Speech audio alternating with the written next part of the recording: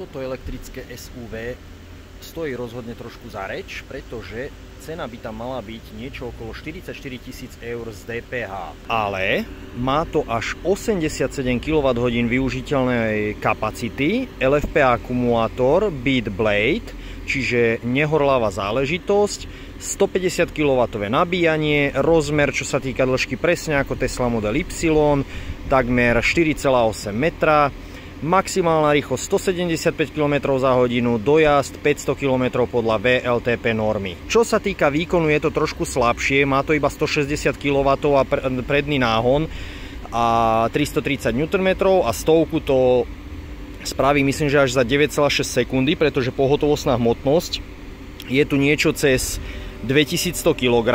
Toto konkrétne auto vyzerá byť deaktivované, no zároveň mu fúči klimatizácia, tak je to pravdepodobne aktivované cez aplikáciu, alebo absolvovalo rýchlo nabíjanie a dodatočne chladí e, potrebné veci, buď akumulátor alebo nejakú elektroniku.